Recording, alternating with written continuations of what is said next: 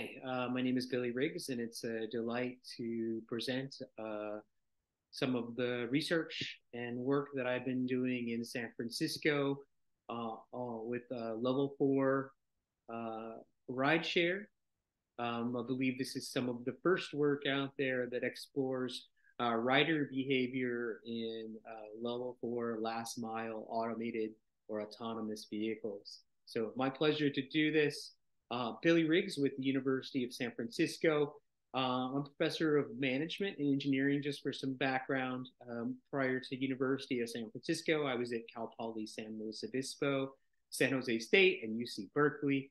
And I have background as a practitioner in uh, environmental uh, and landscape uh, planning, as well as transportation engineering. Uh, my PhD is from UC Berkeley. Um, I have written over uh, 100 publications, uh, numerous peer reviewed, um, but I've uh, in two books, which uh, we'll come back to. Um, some of my projects dealt with physical planning uh, for the U.S. Coast Guard and in engineering of pier side facilities when I used to be a professional, but also neighborhood design, and, and I worked on a lot number of the the pilot LEED neighborhood design projects. Um, I also have background as an investor in working with startup companies, um, both in the battery recycling, energy space, working for a hydrogen company called Hydra, but also uh, data and fintech uh, companies, um, and uh, some of which are illustrated here. Uh, Atmos Financial, for example, Distributed Media Labs, and most recently working a lot with my own company called Intensity on um, civic blockchain for uh, municipal infrastructure investment. And uh, but you know, I think I want to start off kind of with the bigger aperture that in the U.S., you know, there's a lot of automated vehicle frameworks, long haul trucking, last mile logistics. Um, and it's not just robo taxis, it's not just these last mile right here. It's also uh, automated shuttles, which we see um, both in the EU and um, uh, Japan, China. So I think it's important to keep that in context. Um, we've done a lot of work in uh, use cases with regard to handicap accessibility or disabled access. Uh, here's a publication that you can access with Anurag Pande, one of my colleagues from Cal Poly San Luis Obispo. But what I really want to focus on today is the case study, um, and, and, that I've talked about in numerous contexts recently. This case study of the thousands of rides we've had taken um, with, in partnership with Cruise, uh, and as you know, Cruise and Waymo have been launching level four service, um, fully self-driving, uh, non-infrastructure dependent service in San Francisco. And so when we step back, and and I like to say that this is step back and describe what this service looks like. It's really uh, an Uber without a driver. Okay, and and so think of it as rideshare within an operational design domain, domain, an ODD, operational design domain, that is fully autonomous, autonomous, does not require V2X requirements. There's been some debate recently about like what type of supervision it requires, and per policy, it requires remote supervision still, but there's no fixed route. It all happening by itself with everything on board that is required to operate these vehicles. And this is just exemplary. The map here exemplifies the cruise area of service. So again, from a V2X standpoint, no V2X requirement. There's a generalizable software stack with sensors that are referencing a 3D uh, 3D map. Um, you know that we the companies are sharing some somewhere between you know three uh, and 100 centimeters based on the company that you speak to. Um, Cruise and Waymo both have have launched about 300 vehicle robotaxi uh, fleets. Um, contrary to kind of some stuff that's been reported in the media, the, the term teleoperations is not something that either of these companies engages in. Uh, um, they are able to assist the vehicles if they get out of the jam, but it's not teledriving. And I think that's an important distinction to make because it, this get, gets lost in the details a little bit. Um, when we think about what's happening too, they're pursuing fleet operations. So the business model is different than what's happening, you know, a traditional Uber or Lyft model. Um, they also intend to pursue uh, purpose-built platforms. You can see here um, the Cruise Origin, which is the production vehicle for Cruise. Waymo is pursuing a vehicle called the Zeekr. Now, uh, from an operational standpoint, let's dial down to kind of the experiment that I did. There's a sophisticated policy process in California um, that's being replicated a number of places around the world. We won't go into that process today, but I'm happy to take questions about that. And if you'd like to hear more about that, I can talk about uh, what that means. Um, but it, it goes through an iterative process. From our standpoint, we engage in a pilot uh, rideshare experiment in these level four vehicles with Cruise in uh, 2021 22, launching with uh, early riders in 2022 um, that were students, just to explore what would happen if we actually gave these vehicles this transportation resource. Now, again, this policy process is iterative and requires number of different regulatory approvals, both from a driving safety standpoint, the, the equivalent of a digital driver's license, but also in terms of the ability to carry passengers. And for example, we were able to get in because we were not fair rides. We came in early before the public was able to access these vehicles. These vehicles are now ability to access throughout San Francisco publicly. Our students actually, the pilot riders, um, were able to test them within this operational design domain, the ODD, which we refer to uh, in humorous standpoint uh, as to the called the dog. Um, but keep in mind this operational design domain. It's important to articulate. It's not just geography. Okay, it's not just a, a geofence. It's it's really graded by roadway type, um, relative to speed, relative to weather, and relative to time. And it's important to emphasize time because what we were doing was designing an experiment that was an after hours experiment. And why that's important is because this was when this population was very transit dependent, was least served by public transportation. And I want to anchor to that because what we're really seeing here, and I'll just won't bury the lead, um, and this is kind of a little bit of a cross section of who these people were. Um, really members of our, our, community and representative of the diversity of San Francisco. Um, you know, this was a very transit dependent population. Um, and when we look at how the, these these individuals primarily traveled during the day, um, they were taking transit and they were going to school, work, errands. Um, and after hours, they were engaging in social activities, but they were highly, highly dependent on cars after hours because transit service in many cities in the US, and I would argue many cities around the, the, the world, becomes harder to have access to during late night hours when there's less uh, less just trip density. There's less opportunity for public transit operators to make revenue. Um, and so what we have is this inversion of of demand, and that leads to more driving, particularly in nighttime hours. So we felt like this was a really important first step in understanding what would happen when uh, public transportation was a was a was least resourced. Uh, and so, in terms of what we found was that when we gave students these resources, and you can download the paper that's been peer reviewed here uh, using this QR code. Uh, what we really found was that we weren't seeing a, a, you know, taking rides from transportation. We were seeing that existing ride share was a big market opportunity. Uh, and also that we saw that there wasn't a lot of new travel happening on the network, but there was a lot of substitution with existing, for example, rideshare app applications. So 55% of what we were seeing on the network was actually existing travel that was happening via Uber, uh, Lyft, uh, tools like that. Um, it's interesting because we're already seeing a collapsing in this industry, and I would have anchored to this as well. We're already seeing this interoperability between rideshare and um, potential partnerships with cities. Um, here's um, here are two programs in Southern California, both in Pasadena and a city called Monrovia, um, that are using such a service. Uh, we see these a number of places around the world already.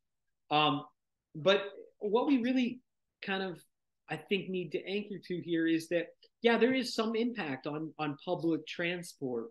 Um, but in general, we're seeing, uh, you know, these individuals, they might have walked late at night, but more often than not, they were relying on their private uh, private vehicles. Um, why were they traveling? Most often, they were traveling related to uh, recreational purposes, but they were also going out for errands and work-based trips. And I think that's really important because when we think about why people travel during off peak hours, it's not just uh, while it's important to actually reduce, for example, people that will drive and, for example, go out uh, to a bar or to, to a, an event where they may um, imbibe alcohol or, or other, um, you know, kind of other forms of recreation. There's also utilitarian trips that happen after hours. And this is an important thing to anchor to. What we also found was that it's not, price was not just uh, an indicator uh, it goes back to why many people use rideshare. The fact that it's like uh, easy to access. There's ease of payment. There's a safe alternative. Uh, you don't need to park. There's a reliable service. And so these are areas for opportunity for public transportation systems, but they're also areas where we know that rideshare uh, capitalized on an additional uh, transportation market that wasn't served and induced a lot of demand early on uh, because they were just providing a different service that was more reliable and convenient.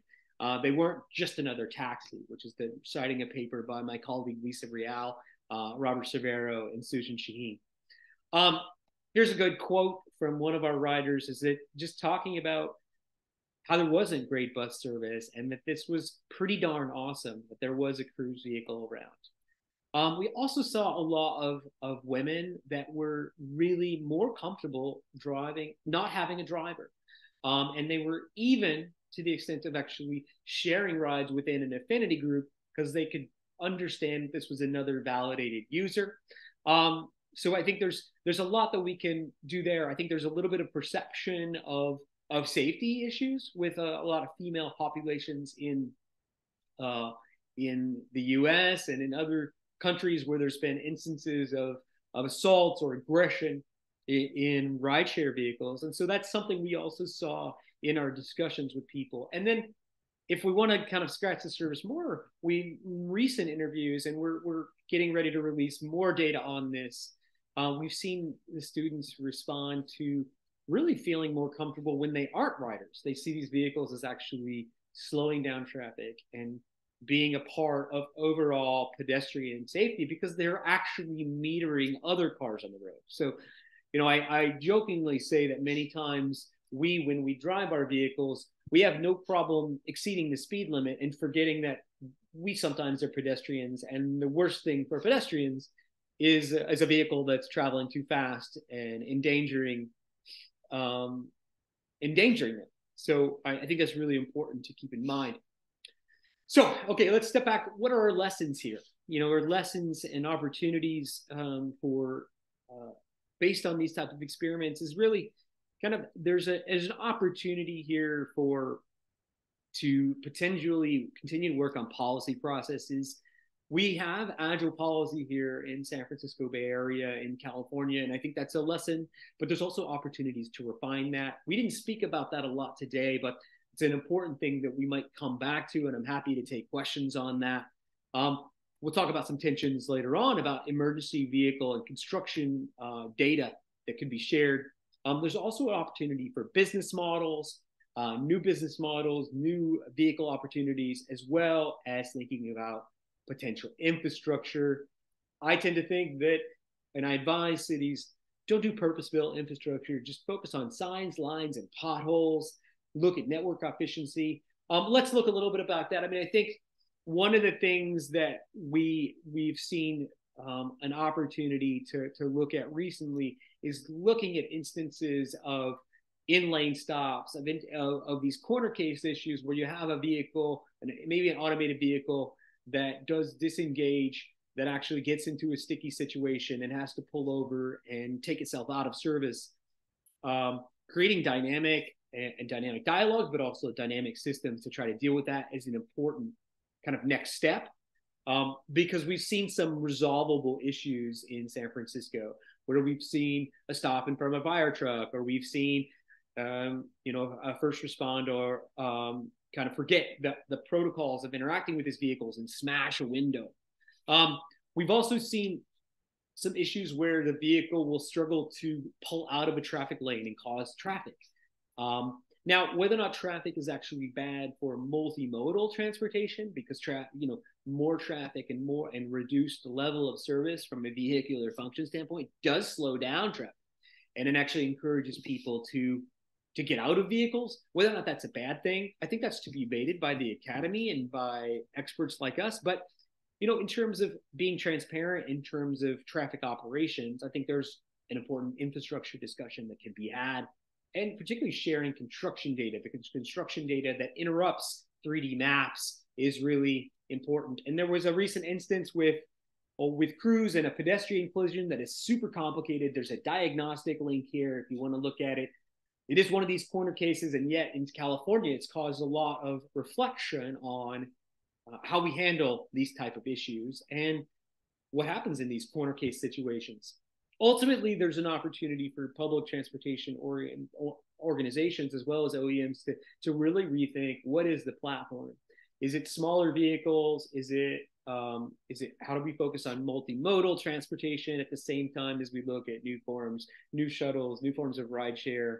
Um, new services that can be delivered during the vehicle. For example, you know, in the cruise vehicles, you can take quizzes about San Francisco, and this is one of my favorite quizzes about the the Love Bug, which is a classic 1950s kind of or 1968 comedy movie about this bug, this uh, VW bug, Herbie, uh, that has a mind of its own. It was one of the first, you know, the kind of the early depictions of an autonomous vehicle that was a, a little Volkswagen race car. Um, but you can see here that this is there's a really an opportunity to kind of reinvent what it is, and you know this you know I I many times since it's a show uh, a show um, uh, we we par- partnered with the show project quite a bit. You know you can see here some of the interesting use cases that are happening as a part of um, some of the innovative things they're doing as a part of this project, and this is with the bus depot that I know that um, the show team has has worked on, I believe, with uh, in in Madrid. Um, but we're also seeing stuff in Germany with ZF, um, with some Navya shuttles, Mile shuttles, but also the Cruise Origin on the far left and the Waymo Zeekr, innovating the platform. And it's important to, to think about these innovations in platform because right now these fleet deployments are really um, the most fiscally um, the, the most fiscally prudent model. Um, fleet-based organizations have an incentive to uh, reduce wasted travel on the network, reduce ghost miles because that those ghost miles uh, reduce revenues, and I think that's important to keep in mind because it's a completely different business model than uh, the uh, the model that, for example, Uber and Lyft have, who don't own their fleet. So the miles that are consumed on the roadway you know, Uber and Lyft aren't paying for it. They're just actually getting revenue from the ride that they then share with the gig worker. So um, that's an important feature, particularly in our undergirding in terms of how we look at prioritizing sustainable mobility, particularly looking at uh, the relationship with the curb, the relationship with uh, cycling, the relationship to the pickup and drop off environment, um, and looking at like what I call curb maximization. And we think about that, that's even challenging some of the notions that uh, transit needs exclusive curb because many times what we're seeing is public transit agencies maybe use the curb that they're allocated between 70, uh, you know, uh, between, you know, 20 and 30% of the time. So it's, you know, we have vacant curb that is, is restricted to public transit agencies. Um, 70 to 80% of the time. And so what do we do with that? How can we use that research resource more efficiently? Uh, I've done a lot of work recently on looking at curves, but also using networks more efficiently. And this is a paper that I'd be delighted if you if you're interested in this idea of looking at network efficiency and how just making the network more efficient for existing vehicles as well as automated vehicles can actually have impacts in terms of uh, and ultimately uh, carbon. Uh, and this is a paper with uh, Geoff Boeing, my colleague from USC. Um, and ultimately, I think that when we think about our urban conditions, if we if we kind of scratch the surface more, the lesson from this is actually that it's not just about automated vehicles; it's about rethinking roadways and prioritizing how we can actually think about urban form and think about it in a different way that actually recaptures urban right of way for human travel.